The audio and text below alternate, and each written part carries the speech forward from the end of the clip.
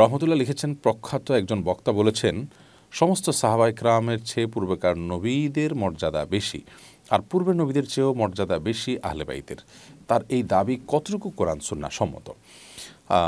না, এটা দাবির শেষাংশ কোরআন সুন্নার আলোকে মোটেও প্রমাণিত নয়। এটি যদি তিনি বলে থাকেন, তাহলে তিনিই প্রমাণ দেওয়া উচিত যেটি কোথায় পেয়েছেন তিনি। আলেবাইদ বা নবী করিম সাল্লাহ পরিবারের মর্যাদা সাধারণ সাহাবিদের চাইতে অনেক বেশি। এটা সন্দেহাতীতভাবে প্রমাণিত যে সাধারণ সাহাবি, তারা সাহাবি, আর নবী পরিবারের সদস্যগণ তারা সাহাবি, প্লাস নবী পরিবারের সদস্য। যার কারণে তাদের মর্যাদা অনেক বেশি।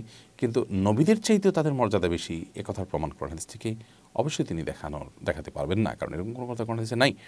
তবে হ্যাঁ এটা ঠিক যে সাহাবাই ক্রামের চাইতে পূর্বেকার নবীদের মর্যাদা তো অবশ্যই বেশি। কারণ সাহাবিরা তো আমাদের নবী করিম সাল্লাহ আসলামের সহচর, আর তারা ছিলেন নবী সরাসরি। অতএব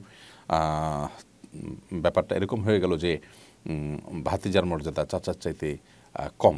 তো অবশ্যই ভাতিজার মর্যাদা মর্যাদা বা গুরুত্ব চাচার সাথে চাচার সাথে তুলনা করলে ভাতিজাকে চাচার সাথে তুলনা করলে অবশ্যই চাচার মর্যাদা বেশি হবে। তো নবীগণ তো আমাদের নবী করিম সাল্লাহ সাল্লামের সহকর্মীর মতো, তার তা আমাদের নবী সাল্লাহ মর্যাদা সর্বোচ্চ হলেও তারা তারই কাতারের কিন্তু সাহবাইকরাম তো নবী নন, যার কারণে তাদের মর্যাদা তো অবশ্যই নবীদের পরে, সেটি সেটি ঠিক আছে।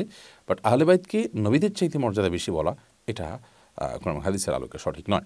মোনালিসা মুন আপনি লিখেছেন নবজাতকের জন্মের পর আজান কি শুধু ছেলেদের কানেই দেওয়া উচিত নাকি মেয়েদের কানেও দেওয়া উচিত?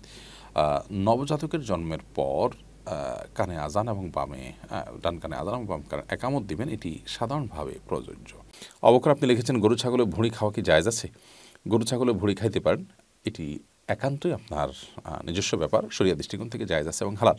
আপনি যদি খেতে পারেন, আপনি আপনার রুচি কুড়াল আপনি খাবেন। আর যদি আপনার কাছে খেতে অপছন্দনীয় মনে হয়, আপনার রুচি না টানে, তাহলে সেক্ষেত্রে আপনি খাবেন না। কিন্তু শরীর দৃষ্টিকোণ থেকে একটি জায়জ আছে।